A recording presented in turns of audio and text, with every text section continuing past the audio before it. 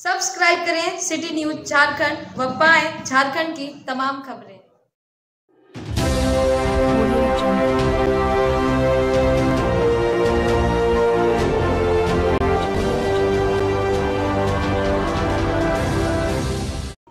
अखिल भारतीय विद्यार्थी परिषद की बालूमात नगर इकाई के द्वारा चेक नाका स्थित एंजल पब्लिक स्कूल परिसर में स्वैच्छिक रक्तदान शिविर का आयोजन किया गया।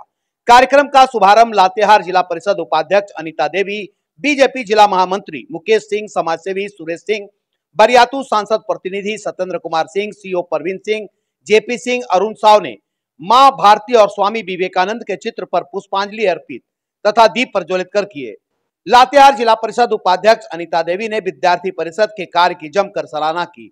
उन्होंने आगे आश्वासन दिया कि वो हर संभव विद्यार्थी परिषद के किसी भी सामाजिक कार्य में साथ रहेंगी। उन्होंने युवाओं से समय समय पर रक्तदान करने की भी अपील की तथा समझाया कि रक्तदान से किसी तरह की कमज़ोरी नहीं होती है और दूसरों के जीवन दान का कारण भी हम बनते हैं।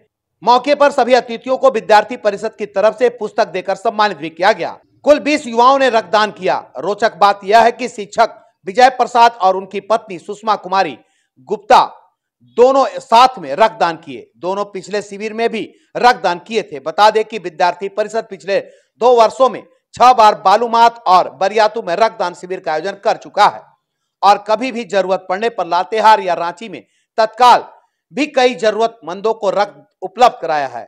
रक्तदान शिविर में ग्रामीण क्षेत्रों में भी युवा बढ़ चढ़कर हिस्सा ले रहे हैं। इस कार्यक्रम को सफल बनाने में बारियातू सांसद प्रतिनिधि सत्येंद्र कुमार सिंह तथा एंजल पब्लिक स्कूल के संचालक रवि कुमार का विशेष योगदान रहा। विद्यार्थी परिषद के उज्जवल शुक्ला, अभिषेक कुमार, शिवम सिंह इत्यादि कार्यकर्ताओं ने सफल आयोजन में अहम भूमिका निभाया है।